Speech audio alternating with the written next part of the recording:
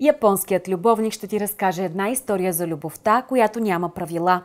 Парвати има всичко, за което е жертвала много.